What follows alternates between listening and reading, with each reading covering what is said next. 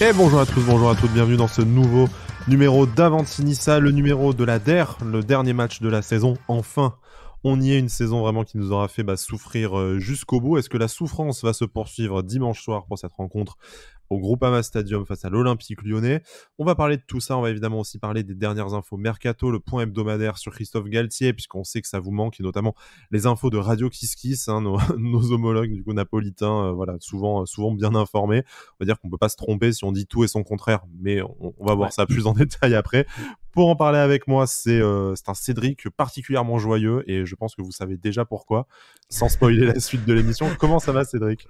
Écoute, Sky, ça va, ça va très bien. Le dernier avant-match du coup de cette saison, avant de partir sur, euh, on, l'espère, un un bon mercato et puis une annonce. Euh, l'annonce projet sur trois ans, n'est-ce pas? Voilà, le fameux, la, fameuse, la fameuse saison de transition.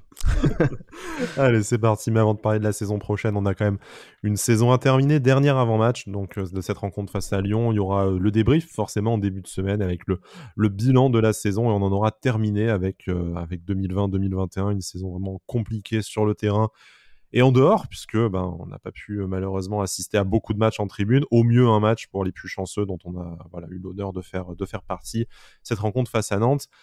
Mais faisons le point sur le, sur le mercato, pas mal, de, pas mal de dossiers. Le premier, comme tu le disais, c'est évidemment l'entraîneur. Donc bon, Radio Kiss Kiss, la radio locale napolitaine hein, dont on vous a déjà parlé, qui, euh, bah, invite déjà, moi, ce que, je trouve surprenant dans le fonctionnement de cette radio, Cédric, c'est que ils invitent plein de mecs euh, différents, euh, des, gens du club, des, anciens agents, l'ancien agent de Galtier, des mecs qui travaillent en France. Tout le monde vient donner son, avis. Moi, je vois plutôt à Lyon, moi, je le vois plutôt à Nice. Est-ce que déjà ces mecs sont censés avoir des infos? Enfin, tu vois, est-ce que je, me doute que ça doit circuler dans le milieu des agents, mais Enfin, euh, t'as vraiment l'impression qu'ils essaient d'occuper l'antenne comme ils peuvent, et au final, bah, euh, il en ressort qu'on n'en sait pas beaucoup plus.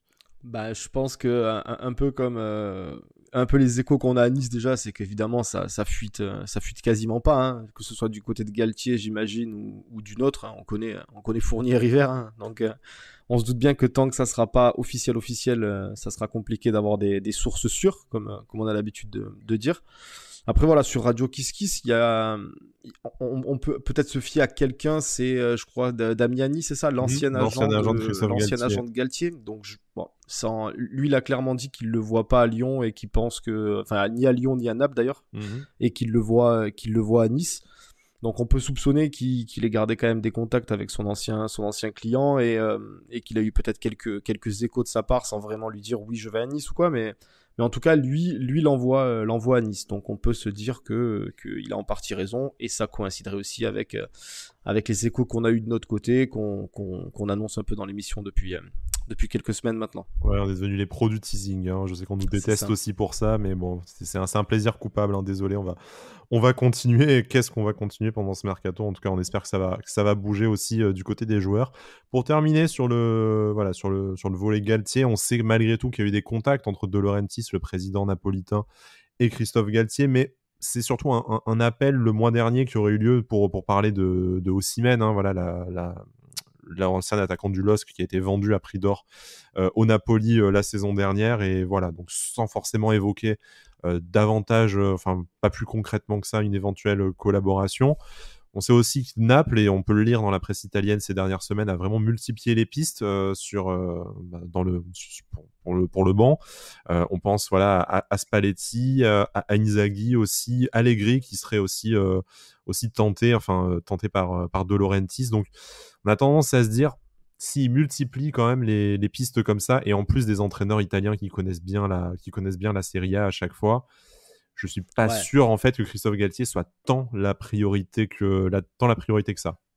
Bah surtout qu'en plus, nous, à l'inverse, de notre côté, on sent que la shortlist c'est considérablement réduite. Euh, en gros, c'est on, sur, les, sur les derniers échos, c'était que c'était soit Galtier, soit le plan A prime, comme, comme on le dit, ça serait Peter Boss. Donc, euh, nous, de notre côté, la shortlist est assez réduite et tu as l'impression, comme tu l'as dit, que du côté de Naples, par contre, ils, élargissent un petit peu. Donc, c'est que ils doivent pas être très très sûrs encore et, euh, ils ont oui, pas ils se sont déjà pris un, vent hein, de, de, la part de voilà. Galtier, c'est aussi possible. Voilà.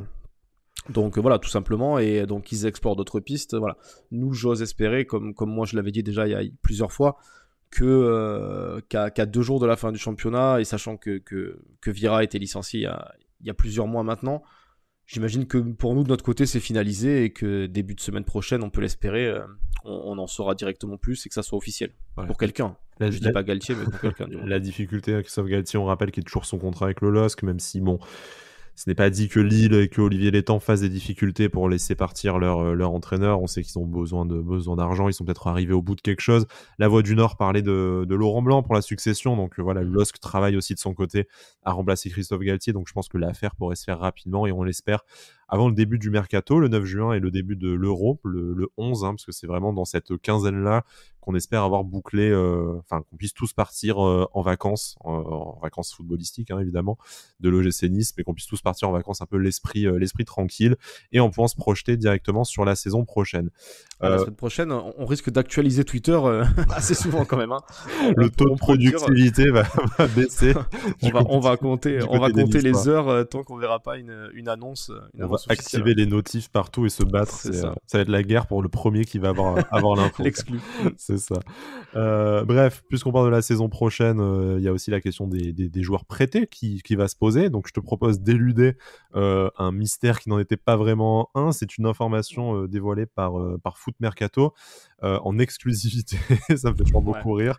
voilà, Nice ne lèverait pas l'option d'achat de Ronnie Lopez. Bon, bah, c'est, on, avait les échos dans la dans la presse espagnole. La presse sévillane, notamment, c'était un peu avancé sur les plans de, du FC Séville par rapport à, à l'ancien Lillois et Monégasque, qui serait bah, donc de récupérer le joueur, faute d'une levée de l'option d'achat par l'OGC Nice, mais aussi de pas forcément le conserver et d'essayer de, trouver preneur sur le marché et de bah, limiter la casse et l'investissement conséquent qui avait été fait euh, lorsqu'il avait recruté à Monaco, même s'il n'y a aucune chance pour eux de récupérer les, les, 20-25 millions euh, initialement investis. Mais voilà, essayer de le vendre euh, le mieux possible pour que ce soit hein, le, la pilule soit la moins amère. Mais bon, pas de surprise quant à la décision de l'OGC Nice, pas trop de surprise quant à la décision de Séville non plus. C'est un joueur qui n'y est arrivé ni là-bas ni chez nous. Va, va falloir se poser des bonnes questions pour lui pour la suite de sa carrière. C'est ça, c'est voilà, l'option d'achat chez nous, elle était à 18 millions, donc évidemment, on va pas, on va pas faire les, on va pas faire les surpris quand on nous dit que qu'il va pas rester à Nice. Hein. On s'en doutait tous et on l'espérait tous, hein, malheureusement pour lui parce qu'il n'a pas eu le rendement euh, le rendement qu'on attendait. Hein. Quand on a vu débarquer Ronnie Lopez, en connaissant ce qu'il avait pu faire à Monaco et, à Lille, euh, on espérait évidemment mieux. Maintenant, euh, voilà, les blessures, tout ça, il a, eu quelques bonnes, quelques phases, mais ça a duré quelques semaines malheureusement. Et est-ce qu'il retrouvera un jour le niveau qu'il avait à Monaco? Ça, on ne sait pas, mais en tout cas, en tout cas, c'est certain que qu'il restera pas à Nice après, après la journée d'après-demain. Sans regret, hein, de toute façon aussi. Euh, voilà, d'après nos informations, il a même rendu sa bagnole, donc c'est que le, mec est, le, mec est parti là. Ouais, lundi il est dans l'avion. Lundi il est dans l'avion. Il n'y a pas de, pas de fioriture. Voilà, si tu veux faire un bisou à Ronnie Lopez, bah, allez camper lundi matin à l'aéroport, hein, du coup. Et puis, euh, puis voilà. Ce qui est bien maintenant, c'est qu'il n'y a qu'un seul terminal ouvert. En plus, vous pouvez pas vous tromper. vous, ne, vous ne le manquerez pas on arrive au moment, euh, au moment Nutella. Pour toi, est-ce que, ah, est-ce que je te laisse la primeur, euh, après la primeur du tweet, est-ce que je te laisse la primeur d'en parler dans, dans l'émission? Ah, tu, ça, ça, tu sais. est-ce que tu aimes l'entendre dans une autre voix? C'est encore. Non, euh, non, mais allez, allez. je, vais, je vais me lancer, évidemment. On va parler de, Jean-Claire Todibo qui. Bon alors, lui aussi c'est pareil. On espérait que ce soit un secret de Polichinelle. S'il si, restait pas, comme je le disais, j'allais euh, j'allais m'attacher au centre d'entraînement et faire et entamer une grève de la faim, je pense. Mais euh, mais euh, voilà, c'est très bien. Il va l'option d'achat va être levée donc selon selon le groupe Marca, Radio Marca exactement. Mmh. voilà. Après, au, niveau du montant, c'est là où on, ne sait pas trop encore. Hein. On, on, rappelle qu'il y avait qu'il y avait énormément de de données différentes, notamment au niveau des bonus. Donc euh, là, 8, là, 8 millions et demi fixe, voilà, ça c'est voilà, donné que c'est le minimum que l'OG6 investira. C'est exactement ça. Il y avait jusqu'à 7 millions de bonus, on sait que c'était en négociation ces dernières semaines. Est-ce que voilà, certains bonus ont été abandonnés au profit d'un pourcentage à la revente, ce qui est la spéciale Fournier ou pas? Voilà, bon, c'est pas notre argent je pense qu'on saura à un moment donné, notamment quand ce sera officialisé euh, d'un bah, côté. Peut-être du côté Barcelone en tout cas, parce que d'une autre, ça m'étonnerait qu'on sache. côté vu que c'est un club côté en bourse, euh, voilà, ça peut être aussi euh, dans un souci de transparence évoqué, mais voilà, on verra le, montage financier. Mais l'important, c'est que ben, de sources quand même très proches, hein, Marca du, FC Barcelone, voilà, le G6 devrait lever cette option d'achat. Nous voilà rassurés, et ça fait un Cédric très heureux qui. Exactement, exactement. Non, mais en plus le fixe, le, voilà, on sait qu'il y avait toujours, euh, il y avait eu pas mal de, médias qui avaient donné des chiffres euh, complètement différents. Donc là, apparemment, le fixe tournerait autour de 8, 8 millions et demi. Donc voilà, c'est très bien. À voir maintenant, comme tu as dit, les bonus, si, si ça va monter à plus de 10 millions, 10, 12 millions. Mais pour moi, ça reste, ça reste un prix très correct pour un joueur qui a montré qu'il pouvait s'inscrire, même dans la mentalité, hein, qu'il pouvait s'inscrire vraiment dans, dans le projet niçois. Bon, une bonne chose, ça fera notre première recrue, hein, très certainement officialisée pour la, pour la saison prochaine. On, commence un peu à, y voir.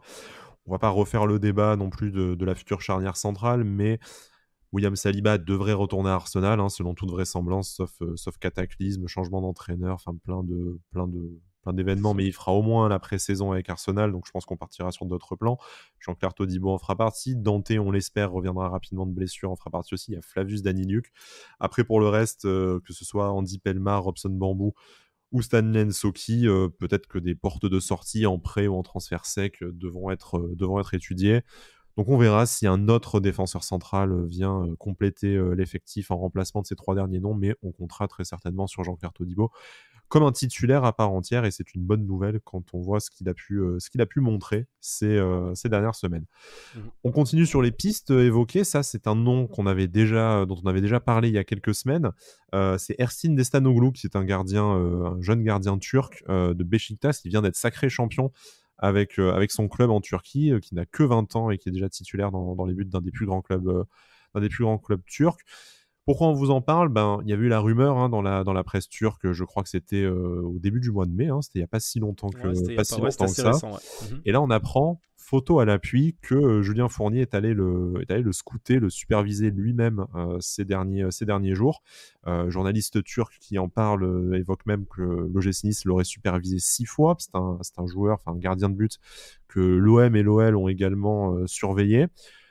On, on a évidemment du mal à vous parler d'un profil d'un joueur qu'on n'a pas euh, qu'on n'a pas forcément vu d'après les renseignements qu'on a pu prendre autour de, supporters niçois euh, turcophones euh, qui suivent le championnat. C'est un beau bébé, 1m95, un profil assez similaire à Walter Benitez, pas forcément un, méga talent dans le jeu au pied, mais en tout cas ça on, laissera les analyses peut-être au, moment où son arrivée sera officielle. Par contre, si voilà, si elle est évidemment, par contre, ce qu'on peut, ce qu'on peut déjà discuter avec, euh, avec toi, Cédric, c'est tu fais venir un gardien qui est, euh, qui est champion de Turquie, même s'il est, même s'il est jeune, c'est a priori pas pour faire le banc, ou en tout cas, euh, si c'est pour faire le banc, c'est pour rapidement aller chercher la place à Walter Benitez ou peut-être un départ du gardien argentin, mais c'est un, c'est un mouvement que euh, là, comme ça, on a un peu du mal à comprendre. Ça va coûter de l'argent. Euh, c'est, un, c'est un joueur qui, qui, veut du temps de jeu. Il le dit encore en interview qu'il a, il a envie de partir en Europe, mais qu'il a envie de trouver un club qui pourra lui offrir du, euh, du temps de jeu. Est-ce que c'était vraiment la, la, priorité là lors du mercato? Est-ce que c'est un, un profil qu'on serait allé chercher? Bah, c'est vrai que c'est, c'est, c'est, un peu, c'est un peu difficile de se dire qu'est-ce qui va se passer là au niveau du gardien de but? On sait qu'il y a Benitez, hein, surtout que pour revenir sur les, les, euh, du fait qu'on l'a supervisé six fois. Euh, bon, on se doute que c'est pas six fois euh, Julien Fournier en personne qui s'est déplacé, donc la cellule de recrutement a dû faire, a dû faire son travail. Mais le fait que, que dernièrement ce soit Julien Fournier qui se soit déplacé directement en Turquie, il y a dû avoir des négociations au passage aussi peut-être. Voilà, c'est peut-être que c'est peut-être que les, les enfin, du moins les négociations sont avancées. Alors est-ce que c'était pour clairement finaliser son arrivée ou pas? Mais en tout cas, on se doute que c'est quand même relativement avancé, donc.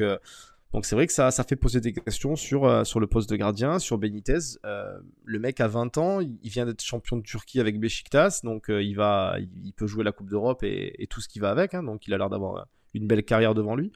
venir à Nice actuellement sans départ de Benitez, je, je, trouverais ça très très bizarre. Tu...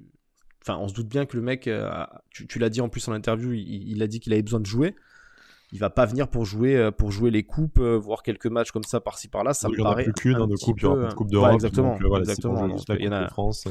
Voilà, potentiellement, il vient pour jouer un match. Si tu passes pas un tour, ça, ça, paraît un peu un peu un peu faiblard quoi pour un pour quelqu'un qui vient d'être sacré champion de champion de Turquie. Donc euh, ça entrouvre peut-être la porte à, un possible départ de Benitez euh, qui, a, qui a prolongé l'année dernière. Donc euh, est-ce que c'était pas aussi en vue de ça, de, mm. Une prolongation en vue d'un départ Donc à voir, ça, ça va être, ça va être à suivre aussi le dossier Benitez. On sait qu'une offre va être présentée par, par l'OGC dans les prochains jours. Hein. C'est le, le, message notamment qui a été posté par le journaliste turc à l'origine de cette information-là. Mmh C'est un peu compliqué. On parlait d'une valorisation à hauteur de 10 millions d'euros lorsque l'info était sortie précédemment. C'est une grosse somme. Si on en est à mettre 10 millions d'euros sur un gardien, je pense que on peut être optimiste sur la suite et sur les autres postes où on est vraiment, vraiment en souffrance parce que ben, du coup. ouais, T'as limite pas besoin, entre guillemets, de mettre 10 millions sur un gardien, donc si tu les mets, c'est. C'est-à-dire tu mets 100 millions sur le reste. Je, je, grossis, un peu le. Ouais, ouais, mais c'est un hein, peu ça, ouais, ouais. Euh, en extrapolant un peu le truc, c'est un peu ça, ouais. C'est, euh, tu te dis, bon, après, voilà, ça, rejoint un peu aussi ce qu'on disait dans le sens où si vraiment le nouveau coach est Galtier au salaire qu'on lui propose, ça coïnciderait aussi avec le fait que tu, tu, vas un petit peu lâcher les chevaux. On ne dit pas d'envoyer euh, d'envoyer 50 millions sur, euh, sur, sur, plusieurs joueurs, mais euh, non, mais si, si, si, ta recrue la plus chère, c'est c'est ton gardien numéro 1 bis qui vient de Turquie. bon, c'est ouais, on, peut se on peut se fouetter un peu. Ouais. bon, on je verra, pense. On verra bien. On spécule. Le joueur n'est pas encore arrivé. L'offre n'est même pas encore parue, même si apparemment c'est c'est prévu. J'ai usé de mon meilleur turc Google Translate pour contacter le journaliste en question. Je me suis pris pour l'instant un gros vent. Bon, il, a pas lu le message, il m'a pas lâché un. Il t'a pas ghosté. Euh, non, il m'a pas lâché un vu et euh, ghostage derrière, tu vois. Donc, euh, N'empêche, il a supprimé son tweet, donc est-ce que ce serait fait taper sur les doigts par, par Julien Fournier on ne, on ne sait pas. Est-ce qu'il est passé par là pour lui. son meilleur coup de pression à voir. On verra. Mais bon, dernière, euh, dernière petite revue de presse, c'est les, déclarations d'Adrien Urcea sur son, euh, avenir. Euh, là, en conférence de presse d'avant-match, d'avant, Lyon-Nice. Du coup, lui, comme, comme tu nous le disais en off, ne, se projette pas forcément au-delà du match et il se pose pas la question de si c'est sa dernière rencontre à la tête de l'OGC Nice ou pas. Ouais, c'est ça, c'est ça. Lui, euh, c'est vrai qu'il est un peu, euh, il reste un peu vague. Hein. Il dit clairement, euh, voilà, dans ma tête, c'est pas mon dernier match. On fera le bilan. il dit clairement, on fera le bilan à partir de lundi. Donc lundi, c'est là, hein, c'est dans trois jours. Hein. donc déjà, on, sait qu'on va compter les heures, les jours jusqu'à jusqu'à la semaine prochaine. Donc potentiellement, est-ce que lundi, on en saura plus sur la, future arrivée ou seulement, ou si seulement Urcea qui fera, on va dire, son son, bilan et, et ses mois passés à l'OGC Nice? Donc à voir. Mais on se doute que euh, River lui-même avait dit que la, semaine qui suivrait la, fin du championnat, on devrait, on en savoir plus sur le nouveau coach. Donc espérons que, que ça, soit, ça soit le cas et que ça s'accélère vraiment après Lyon. On espère que tout s'enchaînera rapidement, effectivement, pour être tout à fait complet sur l'avenir d'Adrien Orcea. D'après euh, nos informations, la place à, Lausanne lui a, bien été proposée. Toutefois, un désaccord euh, de, niveau, enfin d'ordre financier existerait encore entre, bah, entre le club et le coach roumain.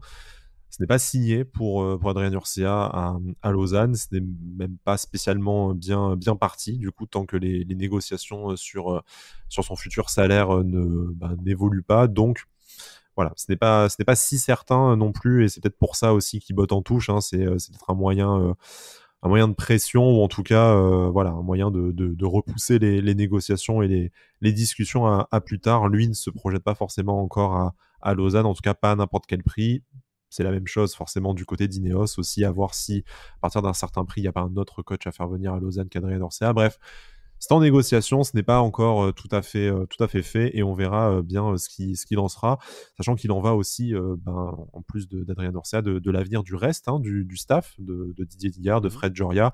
on se doute peut-être que certains, peut-être pas de Joria, on le voit mal partir à Lausanne, mais, mais voilà, c'est possible. On, pense aussi à l'avenir de, de Nico Dion, voilà, à voir si certains resteraient dans la galaxie Ineos ou non. Voilà. je, te, bah, je, te, propose de passer à, je te propose de passer ensuite à à notre rencontre face à, face à Lyon, même si euh, je pense pas qu'il y ait grand chose à dire. Hein, euh, avant, de, avant de passer à nos pronostics, on va faire un peu le, le contexte de ce match. Lyon joue sa place en Ligue des Champions, joue cette place sur le, sur le podium euh, dans un duel à distance avec Monaco qui affrontera, qui affrontera Lens de son côté. L'avantage des Lyonnais, peut-être, c'est que bah, leur adversaire, l'OGC Nice, n'a pas franchement grand-chose à jouer. On l'a vu la semaine dernière face à Strasbourg que les joueurs n'avaient plus l'air très très concernés par euh, ce merveilleux, euh, merveilleux objectif qu'est la huitième place. Donc, est-ce que logiquement, voilà, Lyon devrait, euh, empocher les trois points, l'emporter et espérer un faux pas, de Monaco à Monaco à Lens, mais très clairement, nous, de notre côté, côté supporter niçois, euh, les attentes pour ce match, euh, je pense qu'elles se sont évaporées aussi avec la défaite, comme je le disais, à la maison euh, face à Strasbourg. Ah bah clairement, en plus, en plus quelle surprise de terminer à Lyon, encore une fois. Ça fait 5 fois en 10 ans. Ouais, 5 fois en 10 ans, comme l'a dit ce matin dans, son édition d'aujourd'hui. Donc ouais, après, ça nous a souvent bien réussi, donc on peut... Enfin, j'ai même, pas j'ai même pas envie de dire qu'on peut espérer quelque chose, parce que de toute façon, qu'on en prenne 6 ou qu'on fasse un partout à part, à part pour notre morale, ça ne changera pas grand chose. Mais, mais voilà, on va espérer faire un bon match et puis, et puis voir ce qui va se passer. C'est vrai que si on peut éviter de prendre la, la rousse de l'année et, se, faire, se faire déculoter comme ça en multiplex sur Canal, ça, ça me va aussi. Mais voilà, eux par contre, bah, clairement, ils vont, ils vont jouer le coup à fond. Hein, donc il y a, y a, pas mal de contexte, notamment le fait que Depay a annoncé euh, qu'il partait de Lyon, qu'il qui va faire un au revoir euh, aux supporters lyonnais. Donc, euh, il, va sûrement être probablement relativement chaud. Donc, donc à voir. Voilà, si, si, si Guiri de notre côté pouvait un peu faire passer, passer un petit bonjour à Olas et, mettre quelques buts, ça, ça, ça, nous va aussi. Comme au match aller, effectivement.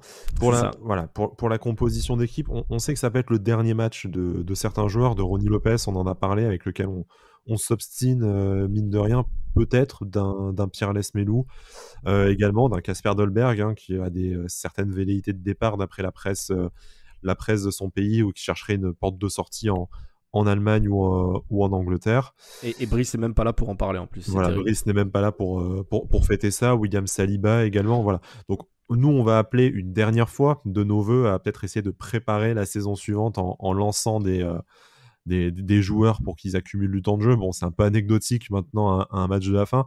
C'est peut-être la dernière fois qu'on peut réclamer Alexis Trouillet aussi, donc tant qu'à faire, faisons-le. Mais bon. Surtout avec la blessure de Claude Maurice, je pense que c'est plutôt un mec comme Les Melou qui va, qui va sûrement jouer pour. Peut-être en guise d'adieu, hein. on sait que c'est sûrement le, le, partant le plus sûr de l'effectif niçois actuellement, donc euh, peut-être qu'il va être titulaire pour, euh, pour, euh, pour service rendu, entre guillemets. C'est c'est pas, pas méchant de dire ça parce qu'il a fait clairement le taf à Nice, mais, ce sera peut-être le cas, notamment avec la blessure de Claude Maurice. Mm, mm. voilà, bon après, hein, Pierre Lesmelou, on, verra pas, trop de rumeurs de départ, même si ça semble être le choix logique en, termes de, gestion d'effectifs. On aura le temps de faire le bilan aussi de son, passage à l'OGC Nice, mais, euh, voilà, c'est. Un des joueurs comme, euh, comme d'autres qu'on a cités qui peuvent euh, dire au revoir au maillot rouge et noir à cette occasion-là et qui pourraient avoir un cœur de, briller, même si, encore une fois, c'est des joueurs qui n'ont pas eu à cœur de briller tout le reste de la saison. On ne voit pas pourquoi ils se, euh, ils se réveilleraient sur cette dernière rencontre. Euh, écoute, je ne sais pas très bien ce qu'il y a à dire de plus hein, sur, ce, sur ce match. Hein. Euh, voilà, c'est avant tout un enjeu entre, entre Lyon et Monaco. Pour faire un petit clin d'œil à une récente polémique, est-ce qu'on a vraiment aussi intérêt à aller chercher un résultat qui offrirait la place en Ligue des Champions à Monaco? Ouais, ouais, je, je pense que ouais, ça, on, sera même pas arbitre entre guillemets sur ce match-là tellement tellement je pense que Lyon nous est nous est supérieur. Après on est capable. Si on n'est hein. pas victime déjà c'est bien. voilà, on a tellement été sur courant alternatif cette saison que, que on peut s'attendre malheureusement à tout avec avec Nice, mais euh, mais voilà, je pense qu'on va vraiment pas euh, faire faire notre rôle d'arbitre. Euh, on va on, va espérer que soit champion comme comme ça a pu être dit euh, dans les semaines passées avec, euh, avec la polémique de, de la banderole, tout ça. Mais voilà, moi personnellement, j'espère que Lille ira au bout. Je pense que ça serait mérité. Et, euh, et, si Lyon passe devant Monaco, bah, de toute façon, j'aime ni Lyon ni Monaco. Donc, on s'en fout comme un ça, peu, comme ça, c'est réglé. Donc, franchement, l'un ou l'autre, ce qui, ce qui m'importe, c'est l'avenir de, de, notre future saison et, euh, et, que tout soit annoncé rapidement, que qu'on fasse un, une belle croix rouge sur cette saison euh, relativement dégueulasse, hein, que ce soit sur le terrain et, et, et en tribune pour nous, voilà. euh, et, qu'on se projette clairement sur, sur le futur. Exactement, nouveau maillot, nouvel, nouvel entraîneur, nouvel abonnement, tout, voilà, que rapidement on, on réenclenche une dynamique pour un peu retrouver notre, notre vie en tribune et notre vie de de supporters hein, qu'on essaie de voilà d'exercer euh, sur les réseaux sociaux avec cette émission mais bon c'est quand même pas la même chose sans le sans le rendez-vous euh, toutes les toutes les deux semaines au stade il manque euh, clairement quelque chose. On a malgré malgré nous un peu expérimenté la, la vie la vie d'expat et eh ben ouais c'est ça. En étant très proche malheureusement c'est ça qui est, très proche, en passant devant le stade et tout voilà. C'est ça. Quand t'es à côté et que tu te dis putain ça fait ça fait un an et quelques qu'on n'y a pas été c'est c'est dur quand même. Mais bon espérons que ce soit qu'on touche du doigt un peu ce retour là. Hein. On, verra, on verra peut-être avec le match de l'équipe de France, le match amical de l'équipe de France. Si, hein. Non, il y aura pas, il y aura, pas de public non plus de toute façon, donc. Euh, ouais, ouais, c'est sûr. Bah, après couvre-feu aussi, hein, donc. Euh, voilà. Eh oui, oui, bien sûr. Ouais, c'est vrai. Pour faire un, par contre, il y a le Stade Niçois qui joue dimanche. Je, Exactement. si vous voulez quand même supporter une équipe, euh, une équipe niçoise dans un stade pour une dernière fois cette saison. Surtout que eux jouent quelque chose en plus. Eux jouent la montée en, en Pro D2, effectivement, dernier match de la saison régulière face à, face à Dijon. On espère qu'ils seront meilleurs que l'OGC Nice face à Dijon quand même. Et puis après, il y aura les, il y aura les playoffs. Mais bon, ça, on, on aura l'occasion d'en parler euh, sur, sur Twitter, notamment avec l'excellent compte Counter Omnisport qui vous en parle hein, régulièrement de, tous ces clubs niçois qui ont mieux performé que l'OGC Nice cette saison. On termine quand même avec un petit point au, classement avant de passer à nos, paris avec notre partenaire BetClick. Euh, il y a malgré tout un enjeu au niveau classement pour le pour Nice. Il y a cette cette huitième place qui est toujours accessible en cas de victoire. C'est dommage parce que voilà deux points de Montpellier qui se déplace à Nantes qui va jouer euh, qui va jouer sa peau. On pouvait voir un, match nul ou une, ou une défaite Montpellier-Rennes et si on avait eu ces 52 points qu'on aurait dû avoir en battant Strasbourg, et eh ben on aurait peut-être euh, voilà, pu même assurer la huitième place sans faire un résultat à Lyon. Là, il faudra gagner et espérer un faux pas euh, des Héroltés si on veut récupérer cette huitième place. Et derrière, à trois points de nous, il y a Metz et euh, Saint-Etienne. Il faudrait quand même un, concours de circonstances que ben, Metz batte Marseille, qui a encore des, va dire des, ambitions européennes, ce qui serait assez étonnant. Quant à Saint-Etienne, ils reçoivent Dijon. On peut pas se moquer de Dijon encore une fois, mais voilà, ils sont quand même à, 7 buts. Après, bon, si on en prend 4 et qu'eux en mettent 4, oui, oui. c'est réglé. même pas, si, on en prend, si, on en prend, 4 et qu'ils en mettent déjà un ou deux, déjà, il faut quand, même, il faut, il faut, quand même se méfier aussi, euh, même si euh, ça n'a qu'une incidence financière euh, aujourd'hui de, de 3 ou 4 millions. Il y a aussi quand même un scénario catastrophe de, on pourrait se faire éjecté du top 10. Donc ça serait là vraiment, je pense, tout à fait tout à fait honteux de terminer 11e. Ça, ça, ça, ça, ferait vraiment finir sur une, sur une sale note la saison, même si, bon, effectivement, ça ne change rien sur les ambitions de la saison prochaine. Mais. Ouais, c'est anecdotique, mais, mais si tu finis dans la première moitié de tableau, déjà, ça sera, ça sera moins. comment, je sais, pas, je sais pas comment dire, mais ça, ça, fera, ça, fera, tu te dis, ça fera bah, moins jaser, quoi. Voilà, tu as, l'impression de te dire, bah, si dans la pire saison que tu as fait ces dernières années, tu restes dans le top 8, bah, ça veut dire que ton club a malgré tout franchi un palier de te dire, bah, les saisons où tu échoues, euh, tu es, euh, voilà, tu, es derrière en fait tous les plus gros clubs que toi. Tu as la surprise lançoise, certes, mais voilà, après c'est normal d'être derrière Marseille, Rennes, Lyon, Monaco, encore, encore cette bah, saison. En fait, chaque année, malheureusement, maintenant, avec les, avec les clubs que, comme tu as dit, qu'il y a devant nous, il y en aura toujours euh, un qui sera un ou deux qui seront les, les, les dindons de la farce, entre guillemets. Donc, bah, cette, année, avec la saison que tu as fait, c'est nous. peut-être que les La saison dernière, c'était Lyon, on se souvient. Et puis, voilà, exactement. Donc, donc voilà, cette année, c'est nous.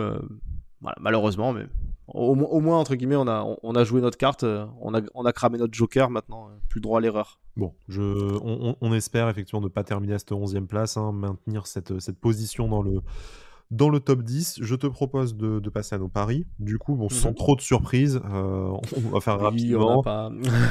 On n'a pas... fait, on n'a pas fait de dinguerie. On n'a pas envie non plus de, de jeter l'argent par les fenêtres. Donc, euh, ouais, bah. je, pense qu'on peut s'accorder sur une victoire de l'Olympique Lyonnais.